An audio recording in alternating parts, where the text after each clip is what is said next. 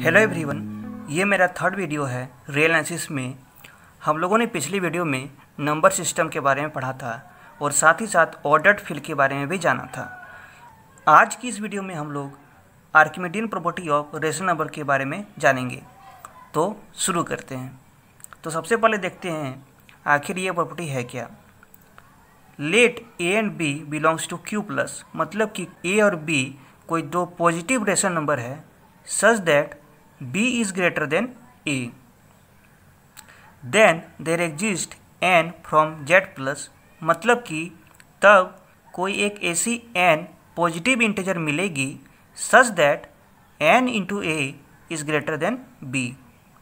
यहाँ पे a जो थी, वो छोटी थी b से, लेकिन हम लोगों को एक ऐसी n पॉजिटिव इंटीजर मिलेगी, जिससे कि अगर हम लोग a को मल्टीप्लाई करें लाइक n इंटू ए वो बी से बड़ी बन जाएगी। तो ये Archimedean property of ration number है। इस प्रॉपर्टी को हम लोग एक मोटिवेशन की तरह से भी ले सकते हैं। लाइक मान लीजिए कि ए आपकी करंट सिचुएशन है और बी आपका गोल है। आप लोगों को लगता है कि आपका गोल काफ़ी बड़ा है और आप उसे अचीव नहीं कर सकते हैं। यहाँ पे B is greater than A है।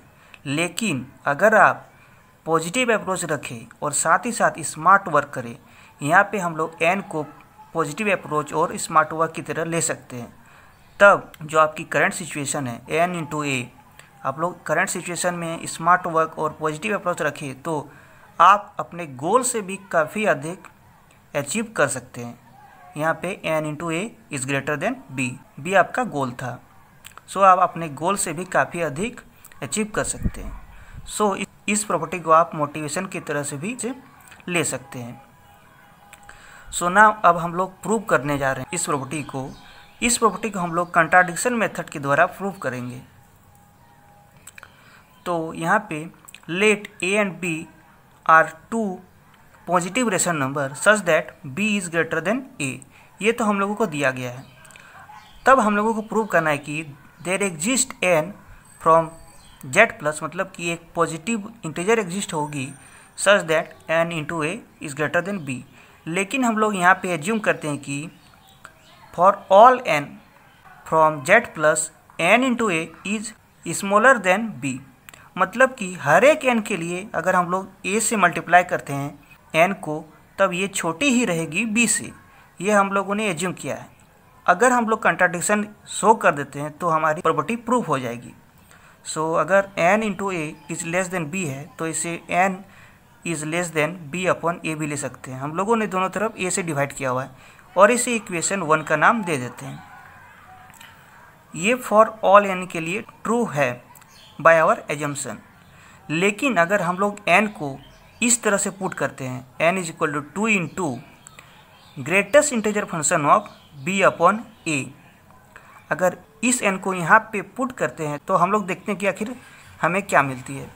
तो एन के जगह में ये पुट करते हैं। Two into greatest integer function of B upon A ये जो इंटीजर है वो हमेशा बी अपॉन ए से बड़ी होगी। सो so, ये दिखाता है कि ये एक कंट्राडिक्शन है। सो so, ये कह सकते हैं कि हमारी जो एजम्पन थी वो रॉन्ग थी। सो so, कोई ना कोई एक एन मिलेगी पॉजिटिव इंटीजर जिससे कि अगर ए को मल्टीप्लाई करें तो वो बी से बड़ी बन जाएगी। अब हम लोग इसे एक एग्ज़ाम्पल के द्वारा भी समझ सकते हैं, जो कि काउंटर एग्ज़ाम्पल कहलाती है, क्योंकि हम लोग इस एग्ज़ाम्पल से हमारे एजम्पन को डिस्कार्ड करते हैं। सो इसे एक काउंटर एग्ज़ाम्पल कहा जाता है। सो यहाँ पे हम लोगों ने बी को थ्री अपॉन फोर लिया हुआ है और ए को वन अपॉन टू दोनों ही नंबर पॉजिटिव रेशन नंबर हैं। यहाँ पे बी जो है, वो ए से बड़ा है।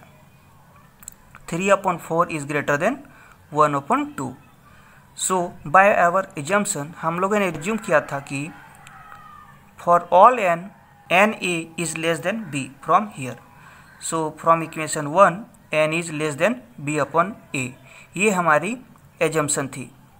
लेकिन, यदि हम लोग एन का वैल्यू ये पुट करते हैं two into greatest integer function of B by तब हम लोगों ने देखा था कि ये बी बाई ए से बड़ी हो जाएगी। सो हम लोग चेक करते हैं क्या इस एग्ज़ाम्पल के लिए भी ये ट्रू होगी।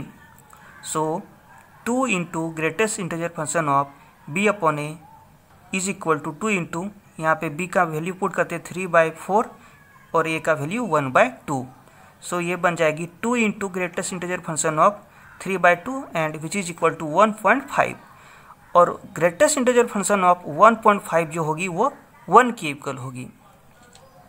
So two into one which is equal to two अब एन का वैल्यू जो ये है हमें मिलती है टू और बी बाई ए जो है वो three by two one point five है. So two is greater than one point five but हमारे एजम्पन के अनुसार एन हमेशा बी बाई ए से छोटी होनी चाहिए फॉर ऑल एन लेकिन हम लोगों को एक एन ऐसा मिलती है जिससे कि ये बड़ी हो जाएगी बी बाय ए से सो. So, ये कंट्राडिक्शन है. सो so, हम लोग कह सकते हैं कि जो हमारी एजम्पन थी वो रॉन्ग है by this counter example so हम लोग कह सकते हैं कि कोई ना कोई एक एन मिलेगी जिससे कि अगर ए को मल्टीप्लाई करेंगे वो बी से बड़ी बन जाएगी. So this property is proved so I hope आप लोगों को ये वीडियो पसंद आई होगी. अगर पसंद आती है तो आप वीडियो को लाइक करें.